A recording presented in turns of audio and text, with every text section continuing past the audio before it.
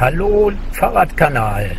Ja, ich bin jetzt hier unterwegs in Richtung äh, Ennepetal. Ja, zu meinem Startpunkt und ja, ähm, ich freue mich schon drauf auf die Tour mit dem neuen Bergamontau, äh, Bergamont Bike, sogenanntes Fully Bike. Ja, und äh, wir werden mal schauen, wie sich das auf dieser Strecke dann schlägt. Ja, ich werde vielleicht das auch nochmal am Startpunkt ein bisschen genauer zeigen, vorstellen. Ja, dann sage ich mal bis gleich.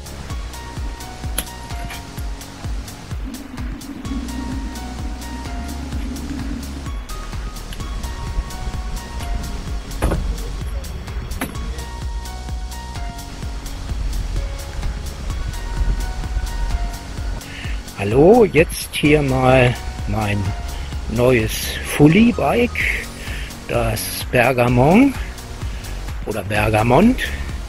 Ja, ich habe wie gesagt hier noch die äh, Top Peak äh, Halterung für zum, eine Schiene zum schnell draufschieben für die Gepäcktasche und vorne natürlich noch den Clickfix. Ja, das Bergamont oder Bergamont äh, hat viele äh, markenspezifische Komponenten, so auch hier den Bosch Performance Line Motor, natürlich äh, Shimano äh, Bremssystem, Hydraulik, Scheibenbremssystem, Suntour, Gabel, Federgabel und hier in der Mitte befindet sich dann die Federung für das Hinterrad. Ähm, ja, da ich schon mal von Riese und Müller ein vollgefedertes äh, Faltrad, das einzigste, was es damals auf dem Markt gab, ähm, hatte, war ich sehr begeistert und ich wollte mir doch mal ein sogenanntes Fully gönnen. Ja, das habe ich jetzt hier mit diesem Bergamont ähm, mir realisiert. Es hat zehn Gänge und eine Diore äh, Shimano Diore Schaltung, die ich schon die Tage ausprobiert habe und sehr gut funktioniert. Ja, jetzt äh, werde ich mich auf den Weg machen bzw. das Rad fertig ausrüsten, damit ich mir meine Tour für heute starten kann. Ja, aber zuerst kommt noch der Akku dran, die Klappe vom Heck zu und dann auf das neue Bike aufsteigen. Und dann geht's auch schon los. Jetzt nochmal eingeblendet die Tourenkarte der 42 Kilometer langen Strecke. Hier gestartet in Gebelsberg Richtung Hagen. Dann die rote Linie, die ehemalige Straßenbahntrasse hoch bis Brickerfeld. Und dann wieder in Richtung Gevelsberg an der Ennepe zurück. Ja, jetzt bin ich hier schon durch den Skaterpark gefahren und äh, tja, die erste kleine Merkwürdigkeit ist dieser Zickzack-Aufstieg, nachdem ich über die Ennepe rüber bin. Und dann geht es eigentlich auch immer im Grünen entlang. Direkt rechts von mir befindet sich die Ennepe. Ja, das fand ich hier eigentlich ganz schön, dass ich hier erstmal so zwei, drei, vier Kilometer lang eigentlich immer einen schönen Grünstreifen hatte. Zumindest habe ich mir das so geplant. In Komoot. Ja, es gibt hier ein paar Querungen, aber die sind nicht der Rede wert, großartig. Ja, jetzt geht es wie gesagt erstmal grob in Richtung Hagenhaspe.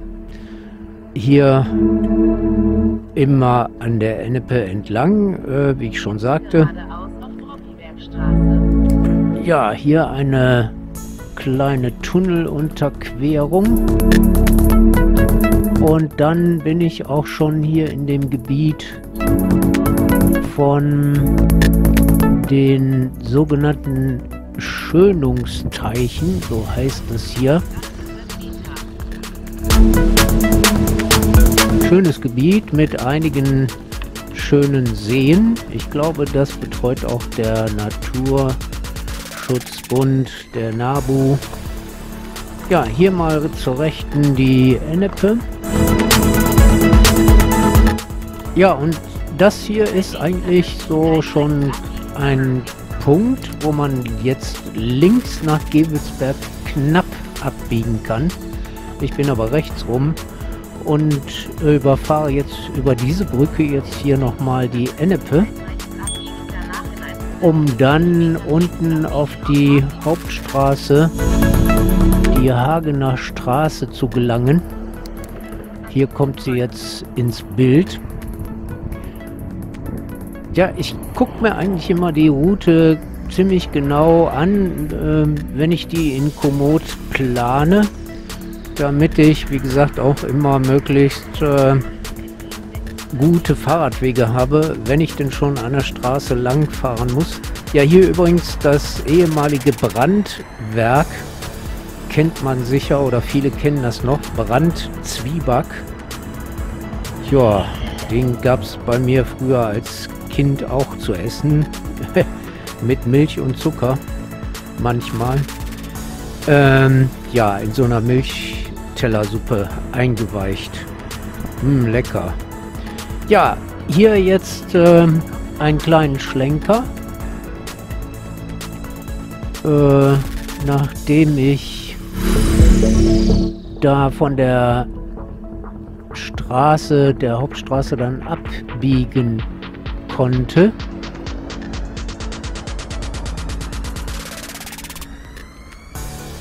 Ja, es schlängelt sich jetzt hier auch so ein kleiner Grünstreifen, der ganz schmal ist. Eigentlich nur diese Straße. Hier zur Rechten ist übrigens auch, ähm, ja, da war ein ähm, Schienen kleiner kurzer Schienenstrang mit, äh, ich glaube, eine Lore war da auch. Also wahrscheinlich ein, eine Art kleines Denkmal. Vielleicht war da auch mal irgendwie ein kleines Bergwerk.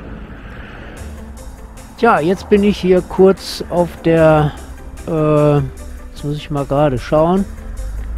Äh, das ist schon die Hennelstraße gewesen. Auf der musste ich jetzt ein kurzes Stückchen äh, lang fahren, um dann hier genau auf den Startpunkt in Haspe, diese circa 20 Kilometer lange ehemalige Bahnstrecke der Linie 11 zu gelangen. Ja, früher war hier unten in Haspe wohl eine Endstation der äh, Bahnstrecke Ende, äh, von, von Elberfeld bis nach Dortmund. Wurde sie dann wohl später noch verlängert, scheinbar. Also ich habe, wie gesagt, im, bei meiner Recherche herausgefunden, anscheinend war hier in Haspe mal ein Endpunkt. Und von da aus, wie gesagt, fuhr dann auch diese Straßenbahnlinie, diese Straßenbahnlinie 11. Scheint wohl auch im Netz sehr bekannt zu sein als Überlandstraßenbahn. Ja, wie gesagt, im unteren Teil der Straße, Förderstraße ist das übrigens, ähm, habt ihr, glaube ich, gerade noch gesehen, war nicht unbedingt ein Radweg abgeteilt. Da fährt man dann leider einige hundert Meter direkt auf der Straße. Aber auch das hier, dieser aufgemalte Radwegstreifen, ist ja auch nicht gerade viel besser. Ja, hätte ich hier meinen Komoot nicht dabei gehabt, hätte ich doch glatt die Schilder übersehen, wo es denn links abgeht hier. Äh, hier gibt es dann schon ein erstes kleineres Stückchen, wo die, wo der Radweg dann mal von der, von der Hauptstraße, von der Förderstraße abzweigt. Und man hat dann doch mal ein bisschen entspanntere Strecke mit dem Fahrrad, die man radeln kann. Weil es eben hier so ein bisschen sozusagen hinter den Hinterhöfen entlang geht. Also ich fand das recht entspannt, war auch schön ruhig. Hat mir schon sehr gut gefallen. Also wie gesagt, da müsst ihr dann ein bisschen gucken oder aufpassen, dass ihr den Abzweig da an der Förderstraße auch findet. Ja, diese kleine Parallelstrecke, die ist so circa 1,5, 1,8 Kilometer lang. Und hier wird dann auch der Bach überquert. Ist der Hasperbach übrigens schon. Der dann unten, glaube ich, in die Ennepe noch fließt. Und aus der gleichnamigen Hasper-Talsperre kommt. Ja, also ich fand diese Parallelstrecke hier zwischen den Häusern ganz interessant und ja, wie ihr hört, das war recht ruhig hier. Ja, leider endet das dann auch ähm, wieder. Man kommt also dann schon auf der Hagener Straße raus. Ähm, ja, man überquert da hier so ein bisschen die Stadtgrenzen. Aber ihr seht ja, hier ist zumindest auf der Seite auch ein breiter Fahrradweg, Bürgersteig, Fahrradweg. Ähm, ja. Ja, hier war wohl früher mal noch eine andere Firma, ich glaube Schmolz und Bickenbach oder wie auch immer. Ihr könnt ja mal in den Kommentaren reinschreiben meine ich, hätte ich irgendwo im Netz gelesen. Ja, wir sind jetzt hier bei circa nach 11 Kilometern. Zweigen wir dann endlich auf, die, auf den schöneren Teil ab der ehemaligen Straßenbahnstrecke. Denn ab hier wird es eigentlich wirklich richtig schön. Wie gesagt, ab dieser, diesem ähm, ja, diesem Werk, ich nehme mal an, das ist auch irgendwie ein Metallwerk gewesen, was irgendwie irgendwas mit ähm, Metallverarbeitung zu tun hatte mal früher. Ja, jetzt, wie gesagt, geht es hier auch immer relativ gut bergauf. Im Netz steht, dass die Bahnstrecke eigentlich immer nur so maximal 3% Steigung hat. Ähm, ja, das ist äh, natürlich den ähm, Gegebenheiten der, der schienengebundenen Fahrzeugen ohne eine, eine sogenannte in der Mitte Zahnstange, äh, was die denn gerade noch so bewältigen können ohne Zahnstange. Ja, da das Hinweisschild, also hier geht es eigentlich dann links, was jetzt rückwärtig vor mir liegt, hoch zur Hasper-Talsperre. Hier links noch ein schönes Ausflugslokal. Ja, und eigentlich wollte ich hier auf der Wiese dann nochmal die Drohne fliegen lassen. Habe ich auch gemacht. Aber witzigerweise, ihr werdet es nicht glauben, tja, leider sind die Aufnahmen nichts geworden.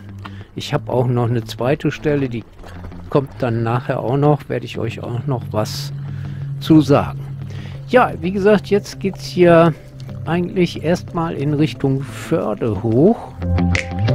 Ähm, ich glaube, das ist dann auch ein Stadtteil ähm, heute und gehört, glaube ich, zu Ennepetal.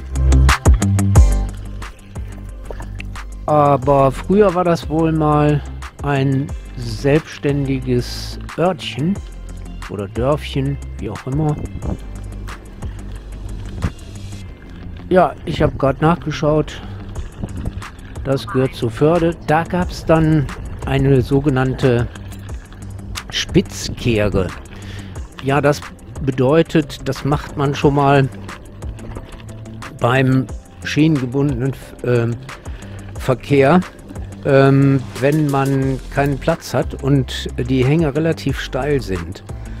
Ja, die meisten werden das natürlich kennen aus der Schweiz. Da schlängeln sich die die äh, Bahnstrecken in vielen Kurven die Berge hoch oder runter. manche Kehren, so nennt man das dann auch, ähm, oder Kehrschleifen, die befinden sich auch teilweise dann in Bergen oder Tunneln, um äh, möglichst bei geringer Steigung dann auch die Höhenmeter zu erreichen. Ja, hier in diesem Fall, wie gesagt, in Förde hat man das anfangs erst einmal mit einer sogenannten Spitzkehre gemacht. Das heißt, man fuhr vorwärts rein äh, und dann war eine Weiche und dann ist man ja quasi rückwärts ähm, wieder rausgefahren. Wie gesagt, so wird das heute noch teilweise in Südamerika gemacht, wenn steile Hanglagen zu überwinden sind. Ja, wie ihr seht, sehr schöne Ausblicke hier. Hier die Strecke hoch. Ähm, wie gesagt, die Strecke ist ähm, circa, also von Hagen-Haspe bis nach ähm, Breckerfeld, circa 20 Kilometer kann man sagen lang gewesen und benötigte, glaube ich, circa eine Stunde. Aber gut, könnt ihr ja auch nochmal in die Kommentare schreiben, ob das alles so richtig ist. Ja, hier bin ich, hier gibt es äh, eine Straßenquerung. Leider bin ich jetzt hier eigentlich auf dem falschen Gleis, wenn ich das jetzt mal so sagen darf. Hab's aber noch gemerkt und musste jetzt hier wieder zurück ähm, ist es auch so, man fährt also nicht wirklich immer hundertprozentig auf den auf dem alten Bahndamm der Straßenbahn. Eigentlich geht der hier jetzt geradeaus weiter durch die Hecke quasi. Und nicht so wie jetzt hier eine Umfahrung, die man so leider als Radfahrer dann machen muss. Und eigentlich würde die oder ist die ehemalige Straßenbahnstrecke dann hier irgendwo wieder rausgekommen. Ja, schade, dass es natürlich dann irgendwie ganz weg ist. Aber so im Großen und Ganzen ähm, fährt man schon, also ich würde mal so schätzen, 80, 90 Prozent, wenn nicht sogar etwas mehr, äh, fährt man eigentlich immer auf der ehemaligen Bahntrasse. Ja, hier jetzt wäre die Bahn auch geradeaus zwischen den Häusern durchgefahren quasi. Vielleicht waren die Häuser auch damals gar nicht. Und ähm, ja, ich finde es immer so ein bisschen schade, ne, dass ähm, solche Sachen dann leider auch irgendwie komplett verschwinden. Naja, aber gut kann man halt nichts machen. Ja, ihr seht, wie gesagt, wunderschön. Mittlerweile sind hier rechts und links auch einige Bäume entstanden, sodass äh, ja, das eigentlich wunderschön hier zu fahren ist. Selbst im Sommer ähm, dürfte das natürlich schön sein. Ja, und hier kurz vor Breckerfeld wollte ich dann, wie ihr seht, auch nochmal die Drohne fliegen lassen. Und man befindet sich ja hier schon so circa auf 300, irgendwo zwischen 300 und 350 Meter hoch. Und ja, leider ist es nichts geworden. Warum auch immer. Irgendwie ärgerlich, obwohl ich definitiv sagen kann, ähm, dass ich die Aufnahme ausgelöst hatte. Es waren auch Dateien auf, dem, auf der SD-Karte drauf aber die waren unbrauchbar. Naja, gut. Sei es drum, sehr schade. Ja, jetzt kommen wir hier schon auf die... Ähm, jetzt muss ich mal gerade schauen. Das ist dann schon hier die Frankfurter Straße, so heißt die. Und hier hatte ich dann vor, mir mal was ähm, zu futtern zu besorgen weil, die, weil es ja dann auch schon irgendwie auf Mittag zuging. Beziehungsweise ich wollte mir das dann unterwegs an einer schönen Stelle zu Gemüte führen. Ja, das war dann hier dieser Rewe Einkaufspark. Oh Gott, keine Schleichwerbung hier machen. Ähm, ja, habe ich alles eingepackt. Kaffee to go in eine Thermoskanne und weiter geht's Richtung Breckerfeld Zentrum. Ja, hier ist jetzt eigentlich links von mir der ehemalige Bahnhof von Breckerfeld, wo die Straßenbahn, die Überlandstraßenbahn dann eigentlich geendet hat oder ist.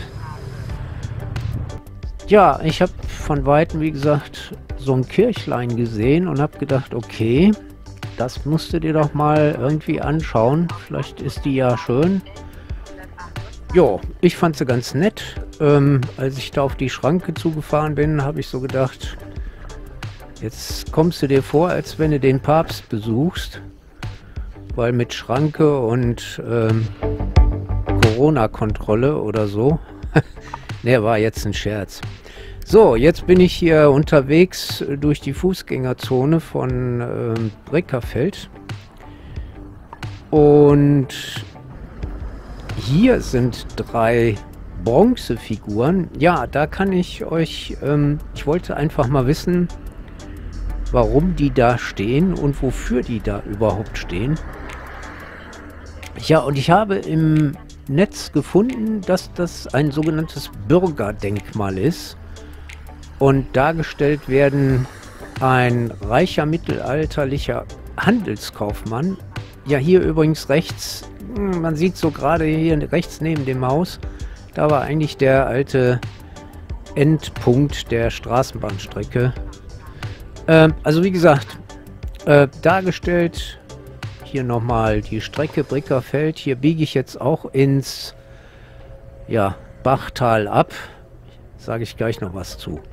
Also nochmal, mittelalterlicher Handelskaufmann, ähm, ein Messerschmied und ein Schütze sind dort dargestellt. Ja, warum wurden diese drei bestimmten Personen ausgewählt? Dazu muss man ein wenig in der Stadtwerdungsgeschichte nachwühlen und nachlesen und dort steht geschrieben, Voraussetzung für die Stadtwerdung Breckerfels 1396 war neben der geografischen Lage die Bedeutung, die durch Handel und Handwerk begründet wurde. Breckerfelder Stahl und Stahlwaren wie Schlösser, Sporen und Messer waren in, im Hansegebiet sehr begehrt. Der vermögende Handelskaufmann Gerwin von Altenbrickerfeld wurde zum Beispiel Ratsherr in Köln und damit sehr einflussreich. Die Messerschmiede fertigten Knoppmesser, Stechmesser und Dolche, sogenannte Dölgen, die wegen ihrer Güte Brickerfelder genannt wurden. Nach der Überlieferung gehen die Schützen auf die Stadtrechturkunde zurück und feiern seit historischer Zeit die Schützenfeste. Bereits 1449-50 wurde auf den Papagove, in Klammern Papagei, geschossen. Ja, ähm, wie gesagt, ich bin jetzt hier durch dieses schöne Bachtal unterwegs. Und ihr seht, ja, anscheinend ist auch hier leider viel dem Borkenkäfer zu, zum Opfer gefallen. Ähm, das ist natürlich schon eine sehr traurige Sache, wie ich finde.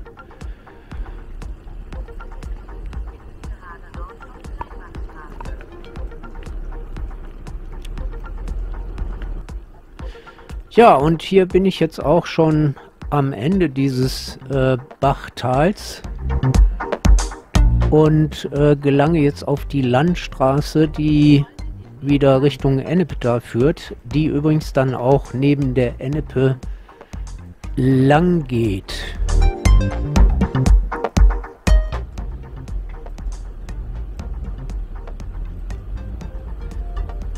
Ja, zum Glück ist die nicht so stark befahren.